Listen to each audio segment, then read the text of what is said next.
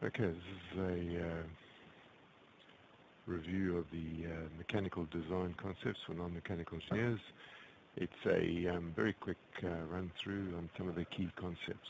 So it's a bit of a flying quick run. Um, just for if you try to log in. Um, basically part of our micro course presentation. So we do these every few weeks. We do a new uh, presentation. This is um, really in, with you if you're involved with uh, equipment, machinery. We through some of the key areas there. So we just really want to look at some of the common material properties and then also really talk about vibration. So it's a very crash course in mechanical engineering in the space of um, a few minutes. So really just a quick introduction, mechanical materials, vibration, and then a quick conclusion. So very quick and uh, very effective. So first of all, materials, um, the good old chestnuts of tension and compression. Um, tension is obviously um, you pulling, got forces in opposite directions and of course over a particular area. Um, or you could have compression, which is in that direction here tension or compression, and of course you could get the material breaking as a result. So you have concepts of stress and strain here. Stress may be defined as load over area. So obviously the smaller the area for a particular load, the greater the stress. Or obviously the greater the load over a particular fixed area, the stress goes up as well. And then strain is the deformation of the um, component over the original length. So it could be normal, shear, or torsion. Torsion is an interesting one, but it's a twisting action. Um, can't be measured directly, but deformation can be. So that's what we look at. So stress is um, force per unit area and uh, newtons per square meter because force is in newtons and area is in um, square, um, meters squared or sometimes millimeters squared. So sigma is a stress in newtons per square meter. P is instantaneous force applied perpendicular to the cross section in newtons, kilogram force in the old days, and of course the area. Um, so you can have stress. Uh, object in compression has compressive stresses, and um, in tension, in other words, pulling it apart, is tensile stresses. So elastic deformation is quite interesting. It's obviously um, is a non-permanent deformation. So as you can think about a plastic pullet, it goes back to its original shape. So this is a very interesting chart here. Uh, elastic deformation is sigma equals uh, is the modular modulus of elasticity, Young's modulus, and typically for metals is 45 gigapascals to 407 gigapascals. So this is this chart here is the interesting one. If you can see here, you've got your stress going up the permanent the vertical axis and the strain over this axis here. And as you can see here, as you're going up, up, up, up, up, it, um, there's no problem at all. And of course, at this point, you have the ultimate tensile strength stress, and here you have basically a fracture occurring. It elongates and then eventually you get the fracture occurring at this point here. So you have that stress strain diagram, um, which is always quite interesting. Stiffness is another uh, important thing, and this will come back when we talk about vibration, how much a component deflects under a given load. So it's another important aspect. A stiff material such as diamond has a very high Young's modulus, changes shape only slightly, and for example, rubber has a low Young's modulus and changes shape considerably, and of course goes back to what it was. The other little um, area, the other little um, term we use is ductility, ability of material metal to plastically deform without breaking or fracturing. So the more ductile it is, the more likely it'll it'll deform without actually fracturing. So you can think of um, stretching um, a metal, whereas something like carbon or diamond has got a very low level of ductility. Uh, toughness is the other little thing here, which is resistance to fracture when stressed. And it's basically the absorption of energy. So the more the material can absorb energy, the tougher it is. So um, these are just some of the typical things. Hardness, usually by indentation. Resistance to metal to plastic deformation, usually by indentation. Um, typical failure mechanisms that you have are fracture, fatigue, creep, rupture, and corrosion. We'll look at corrosion in a bit of depth as well. Fracture, just to look at those terms in a little bit more depth. Fracture we've already spoken about, separation of body into two or more pieces.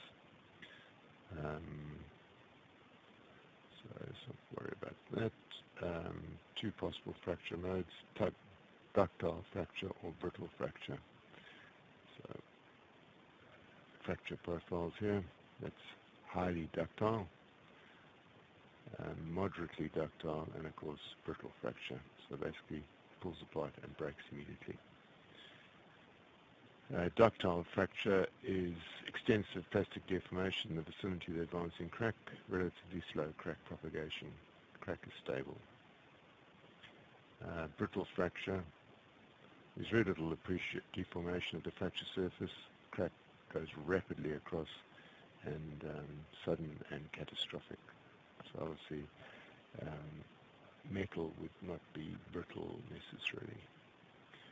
Teague um, form failure occurs in structures subject to dynamic and fluctuating stresses such as bridges, aircraft and machine components. Um, basically you can think of fatigue as wear on a particular metal component backwards and forth, for example, and eventually it breaks. Fatigue examples. Here we are, a paper clip. Yeah, as you can see here, going backwards and forth, and eventually it breaks. Here's a, fatigue example on a petrochemical pipe. Can't see this one very clearly, but this is obviously a crane and we've had some recent examples of uh, fatigue with cranes, and obviously um, not very good here, but a um, turbine engine.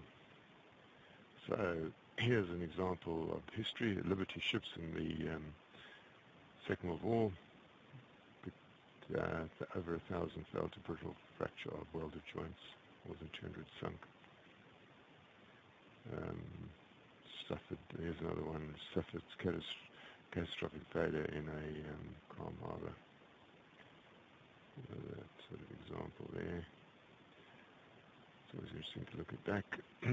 Here's an example here. This is a um, ductile fracture or a brittle fracture. Well, you can see there's very little change there. It suddenly just cracked, propagated.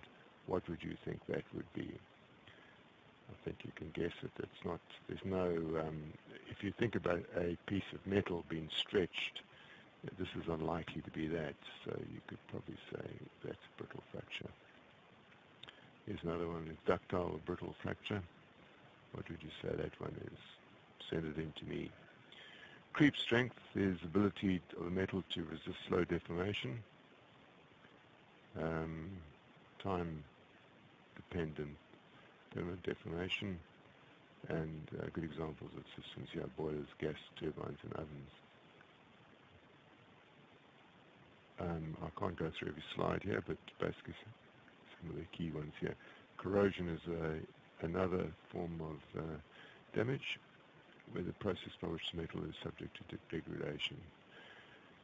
Um, corrosion is obviously everywhere, um, and um, it's obviously uh, chemical action, sometimes important actually. In electrical engineering it can be quite important to get a very good uh, contact with the ground to um, for um, safety reasons in terms of um, current flowing to the ground with a grounding stake or earthing stake. But for most normal applications, it's actually something to be avoided. Causes the flow of electrons from one metal to another, and there's two types uniform and localized corrosion. So I'm not going to go into too much detail here. Um, typical parameters affecting corrosion are pH, dissolved oxygen, dissolved carbon dioxide, high temperature. as examples of corrosion. Nice background of sea, but basically often associated with the marine environment. Localized corrosion, attack at a heterogeneous site. Parameters affecting localized are carbon dioxide, uh, pH, flow rate, material, stresses, strains, type of material, level of carbon in the material. Here's localized corrosion. Um, a bad one here. Uh, galvanic corrosion is the electrochemical action of two dissimilar metals, and um, here's an example of galvanic. Crevice corrosion, uh, two metals uh, in contact with each other, with washers, bind, under barnacles, sand grains, under applied protective films, and in pockets formed by threaded joints. Stress corrosion, uh, simultaneous effects of tensile stress in a specific corrosion environment. T corrosion here, concrete corrosion. Um, that's obviously very hard to deal with because of the concrete surrounding the steel. That can be a problem. The last topic I just want to spend a few minutes talking about is mechanical vibrations. Um, and um, the displacement of mass back and forth, as you know, and it can be quite useful. There's a vibration damper. There's a mass going backwards and forth with a spring. The typical terms used here are mass, the stiffness, and the damping factor. Damping factor obviously would be that device there. But this is just a overall diagram. Um, mass obviously is in kilograms, stiffness is the ratio of a constant force applied in the body to the displacement produced by it. So in other words, if you have a particular force and the displacement is greater and greater, the stiffness can be assumed to be less. And a typical thing, measurement for stiffness is newtons per meter. Damping um, is newtons divided by meters per second. Um, and there's um, three terms that describe vibration, the frequency, in other words, cycles per second, or hertz, the deflection, or amplitude, meters, and the phase. So those are three things. So phase, for example, if one um, uh, waveform is displaced with 10 degrees to another waveform, that's, that's the actual phase difference. The frequency number cycles per second, hertz. Deflection, amplitude is um, meters. Um, here's the amplitude. RMS is over root 2. Phase, as you can see here, there's a relation between these two waves here. There's actually a phase shift. Could be, looks like 90 degrees.